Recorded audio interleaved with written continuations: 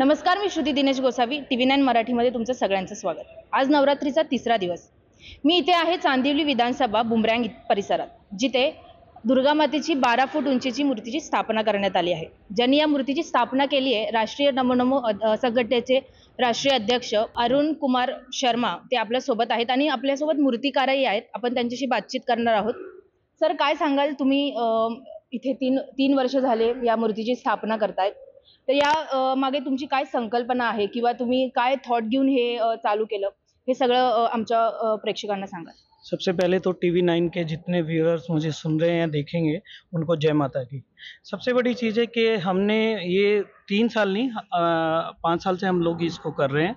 और इसमें पिछले कोविड की वजह से हमने मूर्ति बहुत, उस समय बहुत छोटी मूर्ति रखी थी और हमें ये पता था कि सुप्रीम कोर्ट के आदेश के अनुसार आने वाले समय में कोई भी प्लस्टर की मूर्ति नहीं बनेगी और ना ही रखी जाएगी। ऐसे ही हमने गणपति, सबसे बड़े इको फ्रेंडली गणपति हमने ऐसे ही यहाँ पे विराजमान किए थे और 12 फुट की मूर्ति माता जी की हमने पिछले साल भी हम 11 फुट कुछ इंच की मूर्ति बनाई थी जिसको बढ़ा के इस बार हमने 12 फुट किया और ये बढ़ती रहेगी।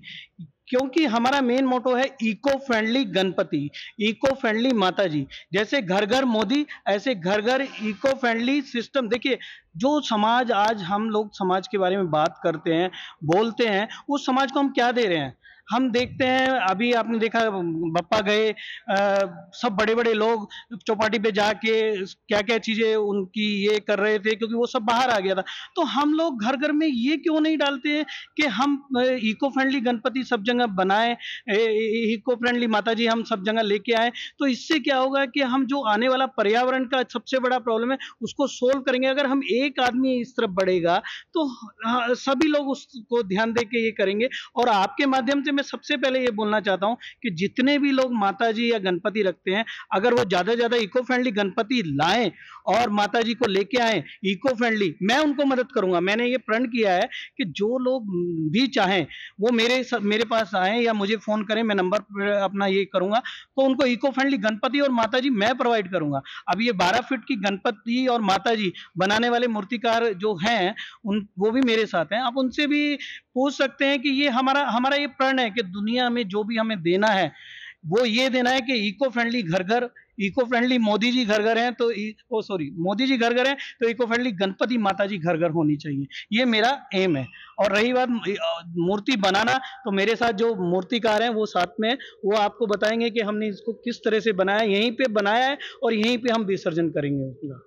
तुमचे काय विचार होता यामागे की तुम्ही जागच्या जागी मूर्ती बनवणार आणि जागच्या जागी विसर्जन करणार? हमने देखा, देखिए, जब गणपति बप्पा आते हैं माता जी आते हैं, हम बड़े धूमधाम से, क्योंकि ये पूरे वर्ल्ड का एक वो है। और सब लोग चाहते हैं कि वो घर घर में माता जी आए, गणपति बप्पा आए। उसके बाद जब हम उनको विसर्जन करने जाते हैं तो बहुत भीड़, बहुत पब्लिक, सब तरफ़ इतना ये रहता है। अगर हम एक जगह बना के उनको और वहीं पे विसर्जन करें तो सारी दुनिया वहाँ भी जैसे हम रामलीला करते हैं और बहुत सारे प्रो, प्रोग्राम करते हैं वो वहीं पे सब ये कर देते हैं। तो इस तरह से क्या होगा कि एक तो ट्रैफ़िक का प्रॉब्लम खत्म होगा पुलिस की प्रॉब्लम खत्म हो जाएँगी बहुत सारी चीज़ें ऐसी हैं।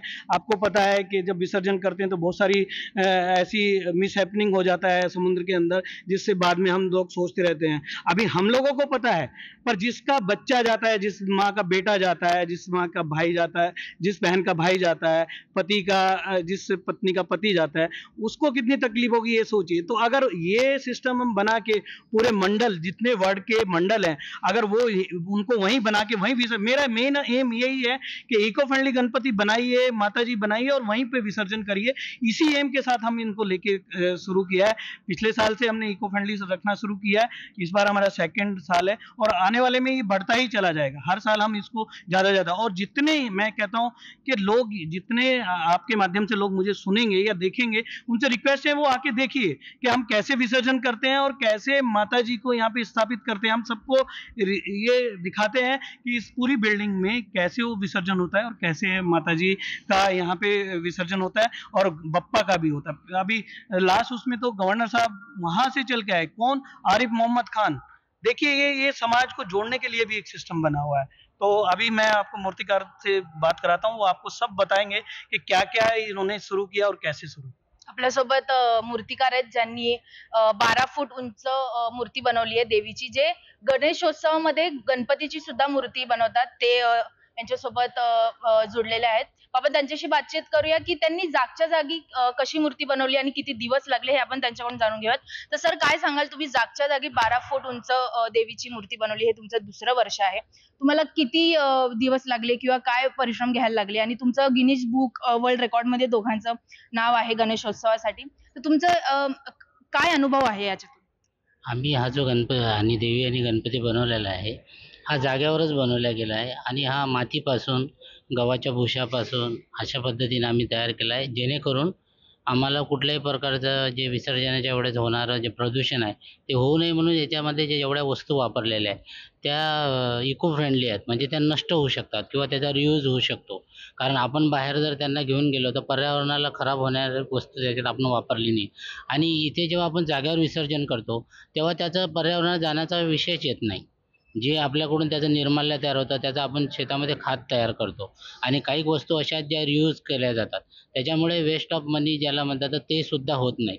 म्हणजे आपल्याला दरवेळ करताना त्या वस्तू वापरता सुद्धा येतात. आणि लोकांना एक संदेश देऊ शकतो की बाबा जो त्यांचा वर खर्च तो खराब होतोय तो खर्च वाचू शकतो त्या तुम्हाला साधारणपणे किती दिवस लागले ही मूर्ती बनवायला? किंवा तुम्ही कशी तयारी करता? कसं तुम्ही चालू करता ही मूर्ती बनवण्यासाठी? आम्ही आम्हाला याला पंधरा दिवस लागलेले आहे देवीला तयार करताना. आणि गणपतीला हे आम्ही पंचवीस दिवसात पंचवीस फुटाचा गणपती केलेला आहे. त्याच्यासाठी आम्ही तयारी म्हणजे बऱ्याचशा वस्तू आम्ही रेडी तयार करून ठेवतो. नंतर असेंबल करून जाग्यावर मातीकाम करतो. आणि मातीकामामध्ये पण आम्ही हे लक्षात घेतो की जेव्हा त्याला विसर्जन करायचं आहे त्याचं नीट पद्धतीनं त्याचं विसर्जन व्हावं. ती माती मुरून ती एका साईडला केल्या गेली जावी. याकरिता त्याच्यामध्ये अशा हार्ड काही वस्तू टाकत नाही. जेणेकरून शुद्ध माती आणि त्याच्यामध्ये गव्हाचा वापर भुशाचा वापर करून आम्ही या मूर्तीला तयार करतो. आणि कलरमध्ये सुद्धा आम्ही हा विचार करतो की सगळे वॉटर कलर्स असतात की ते पाण्यावर पडल्यानंतर ते विरघळतात आणि ते आपल्या खातमध्ये त्याचा समाविष्ट होऊन जातो. तुमचं गिनीज बुक वर्ल्ड रेकॉर्डमध्ये सुद्धा नाव नोंदवलं आलेलं आहे. तर त्या बाबतीत काय सांगाल? तुम्हाला तुमचा त्या त्या बाबतीत अनु- अनुभव का होता?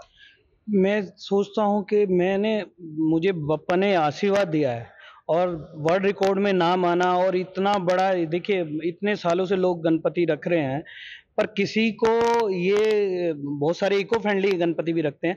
पर देखिए, इतनी बड़ी मूर्ति बनना वो सब बप्पा की मर्ज़ी थी और उन, वो एक, हर आदमी को ये मेरी तरफ़ से मैं समझता हूँ, एक मैसेज दे रहे हैं। जागच्या जागी विसर्जन म्हणजे नक्की कसं असतं? जागच्या जागी विसर्जन लोकांना समज, समजणार नाही. जागच्या जागी विसर्जन म्हणजे काय? तर तुमचं नक्की काय असतं जागच्या जागी विसर्जन म्हणजे? ये है कि हम ऊपर एक, ये लगाते हैं फवारे से कम्प्लीटली वर्कआउट करते हैं और वो पूरा का पूरा माता जी को पूरा कंप्लीट विसर्जन क्योंकि देखिए, माटी का माता जी है, माटी की गणपति है। इसमें सब कुछ इको फ्रेंडली है। हमने कोई चीज़ ऐसी इसमें इस्तेमाल नहीं की है जो इको फ्रेंडली नहीं हो। तो बेसिकली उस मिट्टी को फिर हम, जो हमारे पौधे या जो भी चीज़ें होती हैं, खेती में अगर हम उसको डालेंगे तो उपज भी डबल होती है। तो ये भी एक चमत्कार है। और सबसे बड़ी बात है, इस माटी को अपने घर में, मंदिर में आप रखेंगे तो आपको वो सुकून मिलेगा जो कभी आप सोच नहीं सकते। जो मैंने अपने अपने मंदिर में रख के और अपने उसको एहसास किया है। तो वो एहसास होगा और मैं लोगों को बोलता हूँ कि देखिए, दिल की मुराद। लोग बड़ी, बहुत जगह जाते हैं। दिल की मुराद पूरी कैसे होती है? मैं इस माटी को रख के उससे माँगता हूँ, मुझे मिलता है। तो मैं सबको यही बोलता हूँ। इसका मेन मोटो यही उद्देश्य है कि एक तो हम पर्यावरण को बचा रहे हैं दूसरा पब्लिक जो बाहर जाके रोड की और सब तरफ़ से प्रॉब्लम क्रिएट होती है उसके लिए हम एक सोल्यूशन बता रहे हैं। दूसरा हम अपने आने वाली जनरेशन हमारे जो बच्चे हैं उनको सपोर्ट दे रहे हैं इसलिए हम ये बना रहे हैं और आगे इसको हम बनाते रहेंगे। हमारा उद्देश्य यही है कि हम समाज में ये काम करते रहें। तर हे होते अरुण कुमार शर्मा आणि आपले मूर्तिकार ज्यांनी बारा फूट अ, देवीची स्थापना केलेली आहे यांचं दो दुसरं वर्ष चालू आहे. मी श्रुती दिनेश गोसावी टीव्ही नाईन मराठी मुंबई.